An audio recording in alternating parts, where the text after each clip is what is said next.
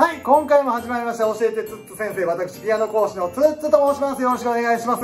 この配信では皆さんに気軽に楽しく音楽史を学んでいただきたいと思いまして配信しておりますので、最後までお付き合いくださいませ。はい、えー、本日なんですけれども、ベルリオーズとロッシーニについて解説したいと思います。あのね、バッハとかベートーベンとか今までやってきたでしょ？やっぱ有名じゃないですか。やっぱね、この辺知らない人多いと思うんですが、後の音楽家たちに多大なる影響を与えております。で、僕、ここでね、めちゃめちゃオペラの話してるじゃないですか。音楽史言うて、クラシックの歴史やってますけど、多分ね、7割方オペラの話してると思うんですね。っていうぐらい、この時代の音楽史を語る上で、オペラって外せないんです。だから前回もオペラの話やってたでしょ？もうなんならオペラ解説してたじゃないですか。そのままね、マダンの車種。なので今回もオペラに焦点を当てて解説していきたいと思いますのでよろしくお願いします。それでは本編行ってみようはい、それでは始まりました本日も音楽史。今回はベルリオーズとロッシーニなんですけれども、まずベルリオーズやってみましょう。あのね、携帯でベルリオーズで調べたら多分ね、あのディズニーのおしゃれキャットの猫ちゃん。猫ちゃんが出てくると思います。あの、ファッサファッサの猫ね。彼、ベルリオーズって名前なんですけど、違います。こちら、ミュージシャン、音楽家のベルリオーズさんです。1803年、フランスに生まれてますね、フランス。で、お父さんがお医者さんです。町の開業医やったらしいですね。で、やっぱりお父さんがお医者さんだと、行くよね。お父さんだって医者にさしたいもん、息子ですので、大学も医大に行きます。で、医学部入ります。なんですけど、どうやらベルリオーズさん、解剖がね、苦手みたい。あのー、解剖学とかやらんとダメなんやって。ただね、やっぱね、もうそういうのがやっぱちょっと無理な人らしくて、ちょっと繊細なんかな、気持ちが。メンタルがちょっと解剖とかに向かない人なのかもしれませんね。で、そっからね、あのー、まあ、そのうさを晴らすためじゃないけど、オペラ座に通うようになります。で、オペラ座ってよう聞くでしょ？皆さん。オペラ座の怪人とか聞くよね。これオペラ座ってでも具体的に何かわかります？まあ、日本でいうとこの歌舞伎座みたいなもんと思ってもらったらいいです。えっ、ー、とね、フランスのパリ国立のオペラオペラ団、オペラ団の一団のことをオペラ座って言います。一番ですね。だから国が公認してます。フランス代表です、このオペラ座はっていうのがオペラ座ですね。で、そこにね、足しげく通うようになって、オペラにどんどんどんどんハマっていきます。ベルリオーズ。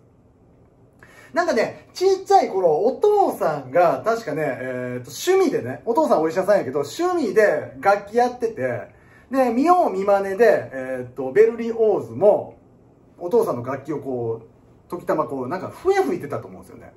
フルートかなんか。吹いてて、で、楽器与えてもらって練習してたりもしてたんですが、まあ、あの、お父さんは医者にしたいからね。で、まあ、楽器もそこそこで。で、えー、医学部入れるんですが、まあ、本人はオペラ、まあ、音楽に夢中になってしまいます。で、お父さんは医者になってほしいから、もうお前も音楽もええ加減にしとけって言うて、めちゃめちゃ喧嘩なるんですけど、もうベルリオーズはもう音楽でわて、飯食いていきます言うて、えー、やめます。せっかく医学部まで勉強して入ったのに、やめちゃいます。でですね、えー、そっから交響曲にどんどんのめり込んでいくんですね。えっ、ー、と、特にベートーベン。古典派でやりましたね。ベートーベン。ベートーベンの交響曲にものすごい影響を受けるんですよ。ベルリオーズは。で、生まれたのが、もうね、ベルリオーズといえば、もうこれ交響曲を書くんですけど、一発目でバカ売れします。ベルリオーズ。ベートーベンに影響を受けて、交響曲をわて書きたいんや言うて書いて、普通はね、こう、段階を経てね、賞とかもらっていって有名になっていくんですけど、この人、一発目に幻想交響曲っていうのを書いて、これがバカ売れ、大ヒット。もうベルリオーズと幻想交響曲はもうイコールぐらいで思っておいていただいてもいいです。一発目の交響曲です、これが。でね、これ、この交響曲を書くに至っての、これエピソード付きやから面白いのよ。ベルリオーズの幻想交響曲は。これね、ベルリオーズ、オペラ座とかオペラにどんどんハマっていくんですね。で、当時、時代はオペラといえばもうシェイクスピアなんですよ。イギリスのシェイクスピア大旋風です。シェイクスピアブームがヨーロッパで大旋風を巻き起こしております。まあ、その中で、もちろん見に行きますよね、シェイクスピアね。だってもうめっちゃ流行ってんもん。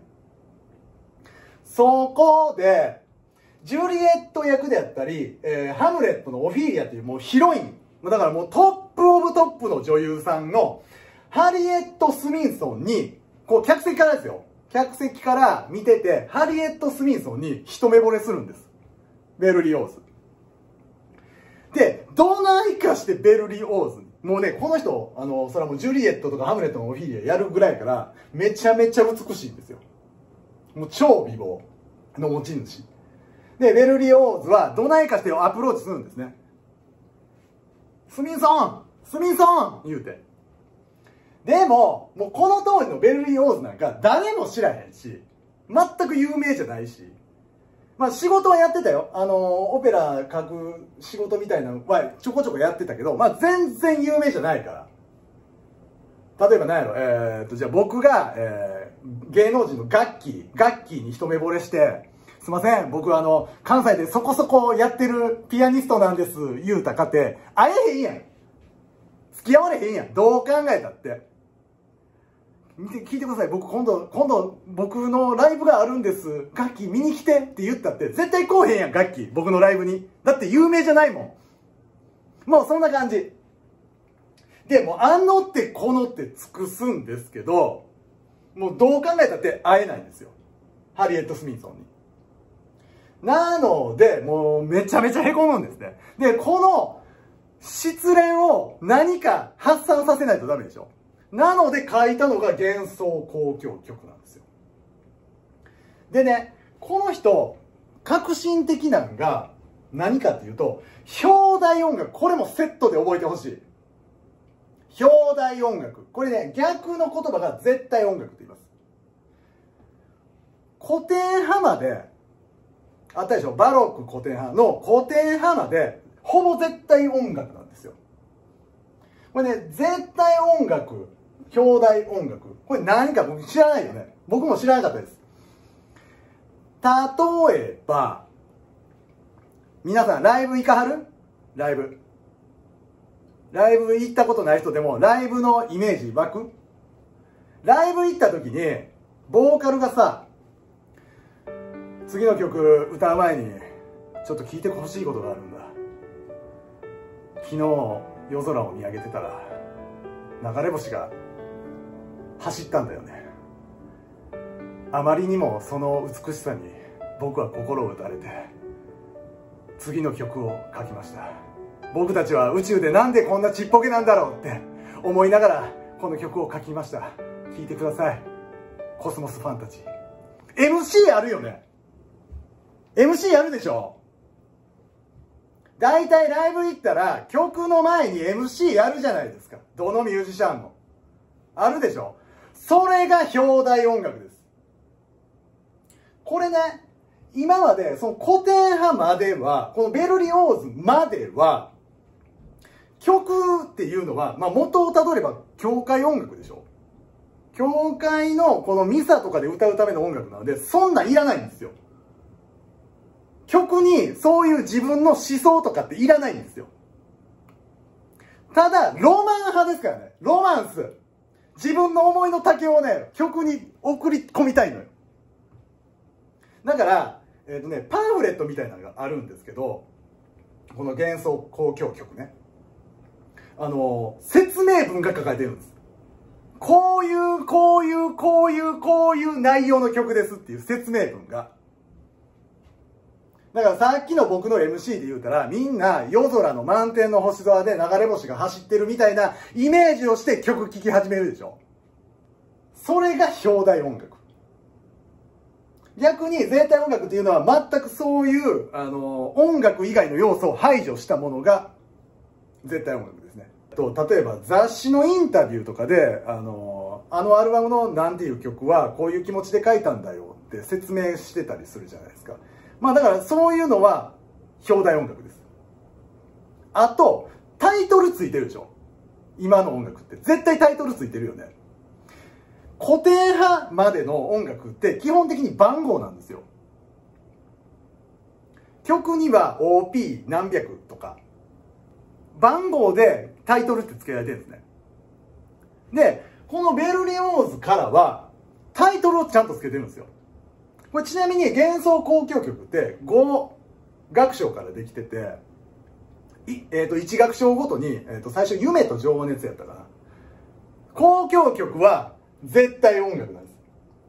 要は、あの、格式高いのが交響曲ですね。で、もっと崩したのが交響 C なんですよ。交響曲っていうのは音楽だけを聴かしたいんですね。で、その後に、えっ、ー、と、交響詩っていうのができるんですけど、まあ、あの、違うんですよ。あの、交響曲は第4楽章からできてたり、交響詩は、えー、第1楽章とかね。まあ、形が決まってないんですね。まあ、こういうのを表題音楽、絶対音楽って言います。で、例えば、えっ、ー、と、ショパンの、あの、子犬のワルツとかあるじゃないですか。あれ、ショパンって絶対音楽なんですよ。番号で名前振ってるんですね。で、でも、え、子犬が踊ってるみたいな、子犬がゴロンゴロンしてるみたいな曲じゃないですか。子犬のワルツって思いません？絶対音楽やのに。あれって、ショパンは、第何番っていうタイトルつけてるんですけど、自分が書いた曲の第何番の曲みたいな数字で曲書いてる、タイトル書いてるんですけど、後世の人がこの曲はなんか子犬が戯れてるような曲だなと思って子犬のワルツって名前つけてるんですよだから本人がタイトルをつけて説明文つけてるものが表題音楽。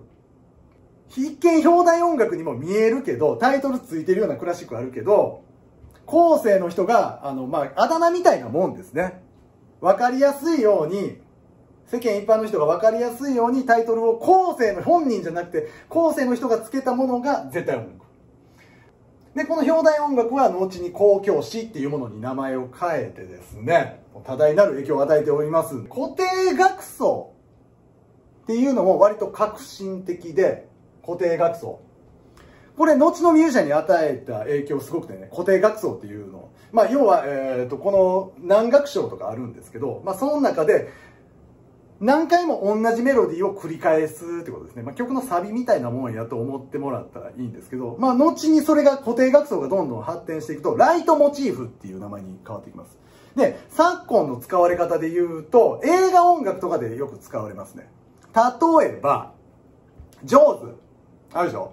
例えば、ジョーズのダーダン、ダーダン、ダンダンダンダンダンダンって聞こえたら、画面にジョーズ、画面に海が映ってて、サメ見えなくてもなんかサメおるんじゃんって思いません？あれがライトモチーフ。あとは、えっ、ー、と、スター・ウォーズでさ、えー、アナキン・スカイウォーカーがいるじゃないですか。で、あと、帝国のマーチあるでしょ？あの、ダンダンダンダンダダンダンダダンって。で、あの音楽流れたら、出てくるやん、あいつが。ダース・ベイダーが。ダース・ベイダーが出てくるでしょ？ダンダンダンって聞こえたら、画面にダース・ベイダー映ってなくても、あ、もう出てくるな、ダース・ベイダーって思うやん。で、まあよく使われる方法で言うと、アナキン・スカイウォーカーの、が映ってるでしょ？少年の。少年のアナキン・スカイウォーカーが映ってる後ろに、あの、ダース・ベイダーを薄く出すんですよ。で、その時に、ダンダンダンって聞こえたら、あれ？もしかしてアナキン・スカイウォーカーがダース・ベイダーになるのって思わへん？だから最近のね、映画音楽にもよく使われる手法なんですね。この固定楽奏っていうのは。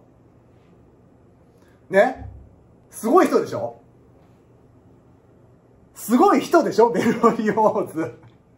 みんな知らんだけで。あんまね、有名じゃないから僕も説明せんでええかなと思ったけど、ほんまにね、昨今の割とそういう、こういうモチーフ的な音楽の作り方、手法に多大なる影響を与えてるんですよ、この方。すごいでしょ？やってよかったでしょ？ベルリオーズ。ベルリオーズさんね、あの、フランスの効果にもなってます。ミュージシャンがよ。音楽家がよ。すごくない？まあ、フランスでは超有名人ですね。ベルリオーズさんでした。えー、もう一方、えー、同時期ですね、同時期に活躍されてた、イタリアのオペラ作曲家さん。ロッシーニさん。これね、この人めちゃめちゃ面白いです。えー、代表作品で言うと、セビリアの理髪師、アルジェのイタリア女、ウィリアム・テルっていうのがまあ代表作品なんですけど、まあ、この方ね、あの、何が面白いっていうと、あの、めっちゃちっちゃい時イケメンなんですって、ロシンさん。若い時は。もうイケメンでも女の子もはべらかすようなイケメンで、で、もうかなり、えー、若い時から才能を発揮されて、もうイタリアでは知らない人はいないぐらいの名作曲家ですね、ロッシーニ。で、も作曲活動もね、すごい精力的にされてて、で、31歳でもう31曲書いてます。若い時めっちゃイケメンなんですね。で、37歳。ちなみに僕37なんですけど、この人37歳で引退します。だから僕が、えー、もうちょっと作曲活動やめます、みたいな。表舞台に出るのやめます、言うて。で、まあ、あの、ずっと言うてるけど、オペラで当てると莫大なお金が生まれるから。あの、モーツァルトも、ベートーベンもオペラで一発当てようとしてたんですよ。モーツァルトは残念ながらダメだけどね。シューベルトもそうですね。とりあえずオペラで一発当てれば、この時代めっちゃお金持ちになれるんです。で、この人めちゃめちゃ当てたんです。オペラを。オペラ各才能はめちゃめちゃあったんですね。で、37歳で、もう今で言うと何？あの、アーリーリタイアっていうの？ファイヤー？ファイヤーっていうの？もう引退しちゃいます。お仕事。で、こっから、この人何したかっていうと、美食家になったんですよ。グルメ。でさ、あの、皆さんフランス料理とかって食べられます？まあ僕ね、結構あの、お仕事で、まあ最近ないけどね、お仕事で行ったレストランとかでフランス料理とかを、こう、ご好意でいただいたりとかすること、まああるんですけど、ロッシーニ風って聞いたことない？ロッシーニ風。フランス料理屋さんでロッシーニ風何々？って聞いたことないですかね。まああるんですよ。そのロッシーニ風って、このロッシーニ。音楽家の、作曲家のロッシーニさんが考案したロッシーニ風の料理ですね。で、まあ、どういう料理かっていうと、まあ、フォアグラとかね、トリュフとか、割とこう、高級な食材を使ったものが、ロッシーニ風みたいな。ロッシーニ風マカロニとかね。ロッシーニさんの写真を皆さん、あの、まあ、上げとこうかな。この、上げときます。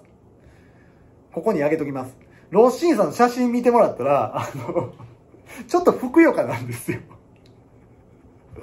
どうやら、割とイケメンやったんですね、昔ね。イケメンやったけど、こう37歳でこう美食家に転身したから、どんどんふっくらされていって、ロッシーに。もうね、あのー、肖像画とか見たら割とこう、滑腹のいいおっちゃんなんですね。だから、あ、彦摩呂やと思って。彦摩呂さんやと思って。あの人も昔モデルとかしてた、ね、甘いマスクの。でもあの、グルメリポーターになってもふっくらされてるじゃないですか。だから、えっ、ー、と、イタリアの彦摩呂だと思ってください、ロッシーニ。はい、というわけで、本日の教えてつつ先生音楽史は、ベルリオーズとロッシーニでした。どちらもね、同時期に活躍されたオペラの作曲家さんですね。で、特に、えー、ベルリオーズさんはですね、もう後世の音楽家たちに多大なる影響を与えております。もうかなりすごい方なので、ぜひとも覚えておいてください。ロッシーさんもね、多分フランス料理屋さん行ったらこうメニューとかで流れてると思いますので、あ、メニュー見た時にロッシーニ風、あ、ツッツがいいよってやつやなと思って食べてみてください。それではまたまたお会いしましょう。教えてツッツ先生音楽史でした。ありがとうございました。